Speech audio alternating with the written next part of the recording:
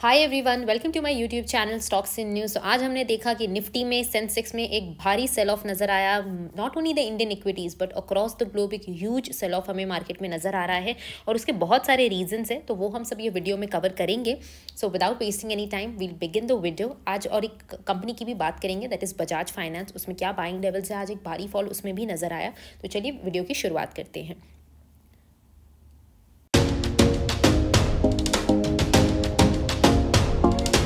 आज के अगर हम आ, क्या कैसे मार्केट ने परफॉर्म किया तो हमने देखा कि सेंसेक्स में जो फॉल आया था which is somewhere around fourteen hundred points का Nifty ends below fifteen thousand nine hundred और बैंकिंग स्टॉक्स में फॉल नज़र आया है फोर टू फाइव परसेंट का। देखिए बैंकिंग स्टॉक्स जो है वो एक कंपनी एक कंट्री की इकोनॉमी को डेमोन्स्ट्रेट करती है कि कंट्री की इकोनॉमी किस तरीके से प्रोग्रेस कर रही है। What is happen we know that there is an ongoing geopolitical tension between Russia and Ukraine right तो ये जियो पोलिटिकल टेंशन की वजह से क्या है? इट इज़ एक्सपेक्टेड दैट जो आई मीन जो कंट्री जिस जीडीपी से ग्रो करती है, वो आने वाले समय में थोड़ा सा डिक्लाइन हो सकता है। Why because of the weak global cues inflation बढ़ता जा रहा है। अभी फिफ्टीन, सिक्सटीन मार्च को फेड अपने इंटरेस्ट रेट हाइक से रिलेटेड क्या चेंजेस करने वाली है, उसकी अनाउंसमेंट भी करने वाली है। तो देखिए, जब भी इन्फ्लेशन बढ़ता है obviously that will have an impact on the GDP of a particular country तो बैंकिंग स्टॉक्स तभी परफॉर्म करते हैं जब इकोनॉमी पटरी पर आती है right when the economy is doing well you will see that the banking stocks are doing well banking and NBFC sector के स्टॉक्स आर डूइंग वेल लेकिन अभी बिकॉज़ एंड मार्केट तो देखिए सेंटिमेंट्स पे चलता है नाउ मार्केट में sense ऐसा हो रहा है कि आने वाले समय में हो सकता है कंपनी के रिज़ल्ट अच्छे ना आए। The reason being because of the inflation one of the reason crude oil के प्राइजेस लगातार बढ़ते जा रहे हैं। वन थर्टी डॉलर्स पर बैरल के हिसाब से अभी क्रूड ऑयल मिल रहा है। And we've seen the commodity prices are increasing so market ऐसा एक्सपेक्ट कर रहा है कि आने वाले समय में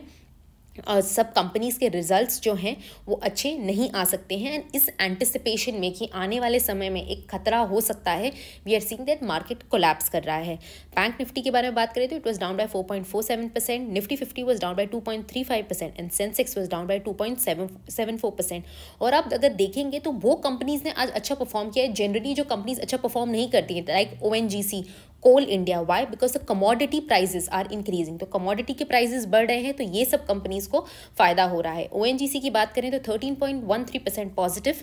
और Nifty metal like I mention commodity is doing well two point one percent positive था। बैंकिंग स्टॉक्स लाइक मैंने आपको जैसे बताया, अभी करंटली इसलिए अच्छा नहीं परफॉर्म कर रहे हैं बिकॉज़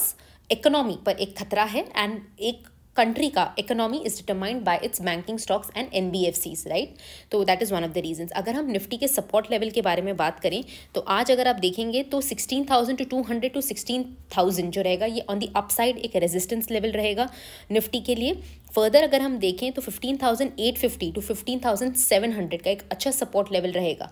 अगर Nifty fifteen thousand seven hundred के लेवल के के भी नीचे जाता है, तब आने वाले समय में हम एक सेल ऑफ़ देख सकते हैं। Somewhere around fifteen thousand two hundred के आसपास निफ्टी का अगला बड़ा सपोर्ट हो सकता है। तो चलिए पहले जान लेते हैं कि what was the reason so एक रीज़न जो मार्केट के करेक्शन में जो हो रहा है, वो ये भी है कि जो रशिया यूक्रेन का वॉर है it's been more than ten days since the war is going on and it is just worsening day by day मतलब कोई ऐसा सोल्यूशन पर दोनों कंट्रीज़ नहीं पहुँच रही हैं and this is what is further creating aberrations and weakness in the market further अगर हम देखें, और इसका रीज़न ये भी है कि आज के दिन की बात करें सो द रुपी टैंक 84 पैसे to close at its life time low of 77.01 against the US dollars देखिए, आपको एक चीज़ याद रखनी अगर जब स्टॉक मार्केट ऊपर जाता है राइट स्टॉक मार्केट अच्छा परफॉर्म करता है तो आप हमेशा ध्यान देंगे कि यूएस डॉलर टू रूपी में जो रहता है, एक स्टेबिलिटी आती है, या रूपी आप देखेंगे तो it strengthens against the US dollars लेकिन जब भी मार्केट में एक गिरावट आती है, आप देखेंगे कि हमारा जो INR है that is rupee that also comes under pressure when compare to the US dollars market में आज ह्यूज सेल ऑफ़ आया, उसी वजह से हमने देखा कि आज रुपी ने अपना लाइफ टाइम लो लगाया somewhere around seventy seven point zero one further अगर हम देखें So markets plunged sharp, sharply lower and lost over 2%, tracking a conti continuous surge in the crude oil and feeble global cues. Like मैंने mention किया crude oil के prices 130 dollars per barrel के ऊपर भी trade कर रहे हैं. The sectors that performed well today were telecom, IT, metal, oil and gas. Why? Because commodities are doing well and the sectors that were losers were auto, banks and capital goods. Further अगर हम देखें so markets rattled with a sharp surge in crude amid the fear of further sanctions on Russia we know that basically Russia Ukraine का war तो चल रहा है but different European countries भी इसमें आ रही हैं बिकॉज़ सब अपने, अपनी तरफ़ से सैंक्शंस लगा रहे हैं एंड रशिया कोई छोटी मोटी कंट्री नहीं है. एंड पुटिन साहब ने वेरी क्लियरली कहा कि अगर इसी तरीके से सैंक्शंस इम्पोज होते रहे then this can further escalate the conflict तो रशिया पे काफ़ी सारे सैंक्शंस इम्पोज किए जा रहे हैं. Besides there is no sign of de escalation of tension between the two nations. So you can expect the volatility in the market in the coming days also. Further अगर हम देखें तो oil prices increase by more than six percent reaching their highest level since 2008 as the US and it's European allies considered imposing a Russian oil import ban. तो Russia के oil import पर ban लगा दिया गया है which is somewhere around ten percent right U S and European allies have considered this इस वजह से हमने देखा कि the oil prices have increase by more than six percent so all these things are creating a negative sentiment in the market और जैसे मैंने mention किया फिफ्टीन सिक्सटीन सेप्टेम्बर को फेड का आउटकम भी आने वाला है तो वो भी एक इम्पैक्ट क्रिएट करेगा। And with the increasing inflation हमें पता है यूएस में इन्फ्लेशन अपने ऑल टाइम हाई पे चल रहा है। तो एक interest rate hike first interest rate hike जो मार्च के मंथ में होने वाला था, वो ऐसा लग रहा है कि वो डेफिनेटली ये बात एग्जीक्यूट होगी। तो ये सब रीजंस की वजह से हमने देखा है कि मार्केट में बहुत सारी गिरावट नज़र आ रही है। लेकिन देखिए, अगर आप लॉन्ग टर्म इन्वेस्टर हैं और आपने पिछले दो साल में अगर मार्केट में इन्वेस्ट किया है तो आपने सिर्फ़ तेज़ी देखी है। इफ़ अगर आप लॉन्ग टर्म इससे इन्वेस्ट करें तो आपको पता है कि मार्केट का ये पार्ट है, ऊपर नीचे ऊपर नीचे करके ही मार्केट ऊपर जाता है। लगातार सीधा ऊपर नहीं जाता है और अब जो हम देख रहे हैं, वो सेल ऑफ़ देख रहे हैं मार्केट में। मार्केट का बॉटम कहाँ बन सकता है, वो कोई गारंटी के साथ नहीं बोल सकता है, लेकिन सिट ऑन कैश राइट एक रिवर्सल अगर जैसे आप देखेंगे कि वॉर थोड़ा डी एस्केलेट होगा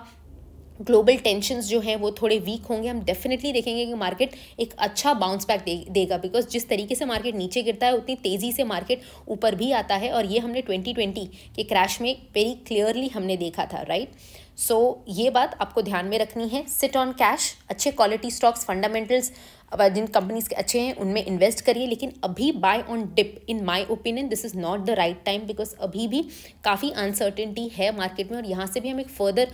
सेल ऑफ़ देख सकते हैं मार्केट में। वेल uh, well, आपका क्या इस पर ओपिनियन है? Please let me know in the comment section क्या आपको लगता है कि मार्केट यहाँ से और गिरेगा और क्या is this the right time to do do buy on dips तो चलिए अब हम हम बात करते हैं बजाज फाइनेंस में और बजाज फाइनेंस में जो आज हमें गिरावट नज़र आई है गिरावट कहाँ रुकेगी और क्या बेस्ट बाइंग लेवल्स हो सकते हैं।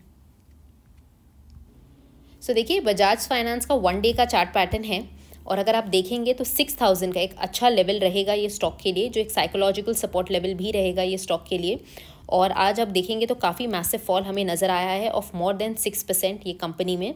और अगर सिक्स थाउज़ेंड के लेवल को भी ये स्टॉक नहीं सस्टेन कर पाता है then further on the down side somewhere around five eight five zero will be a good support level for this stock और अगर ये लेवल भी नहीं सस्टेन हो पाता है तो ये जो लेवल है which is somewhere around five two hundred right ये इसका एक अल्टीमेट बॉटम बन सकता है somewhere around here five eight five zero five two two zero के बीच में somewhere around five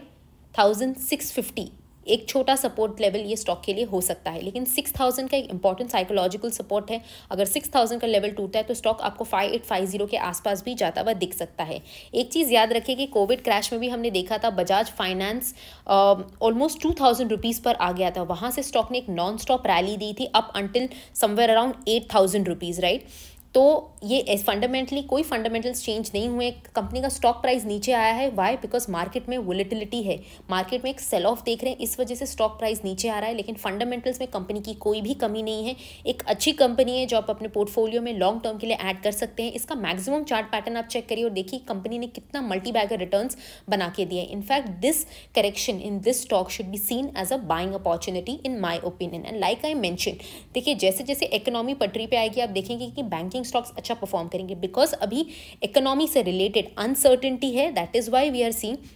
that banking और एनबीएफसी स्टॉक्स में हमें करेक्शन नज़र आ रहा है बजाज फाइनेंस के फंडामेंटल्स बहुत अच्छे हैं। जो लेवल्स मैंने आपको मेंशन किया है, ये लेवल्स पे आप अपने स्टॉक को, अपने पोर्टफोलियो में ऐड करने का सोच सकते हैं। लेकिन ये बात ध्यान में ज़रूर रखिए कि मार्केट बहुत ज़्यादा वोलेटाइल है और अगर ये वॉर इसी तरीके से चलती रही और इन्फ्लेशन बढ़ता रहा देन आगे, आने वाले समय में हम मार्केट में और वोलेटिलिटी देख सकते हैं। So well that's it for today if you like my video please like share and subscribe to my YouTube channel for more such content you can also follow me on Instagram. The link is in the description. You can ask queries in the the comment section or simply DM me on Instagram.